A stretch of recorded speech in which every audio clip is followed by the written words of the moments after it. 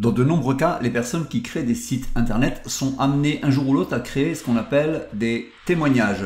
On appelle ça testimonials en anglais. Ce sont des petites euh, photos de personnes qui vous vantent les mérites d'un produit, qui vous disent qu'ils sont directeurs du marketing, euh, ceci. On l'a vu un petit peu dans tous les sites. Alors c'est assez difficile de récupérer des vraies images. La plupart des sites utilisent des images factices, ou plutôt des images qu'ils ont récupérées sur Internet.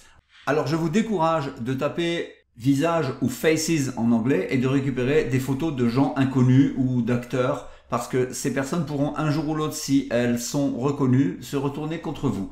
Donc on s'amuse absolument pas avec ce genre de choses. Il y a beaucoup mieux. On va aller sur un site qui s'appelle This person does not exist.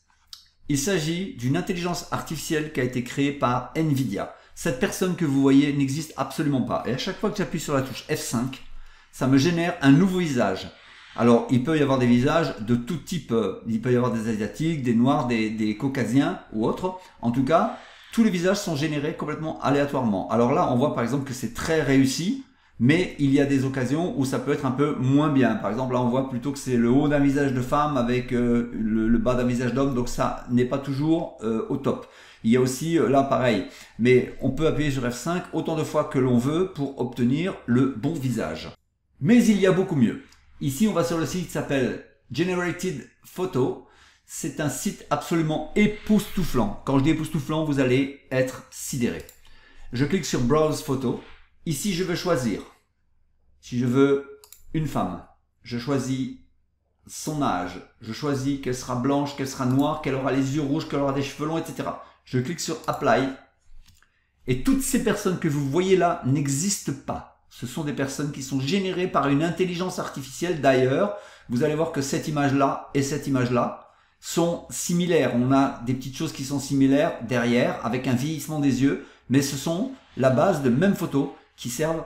Alors c'est vraiment époustouflant. Si maintenant je décide de choisir une personne plus jeune, je vais choisir adulte, je choisis aucun style, je vais choisir apply et là, j'ai toutes les ethnies qui sont mélangées, des Asiatiques, des Noirs, des, des, Caucasiens.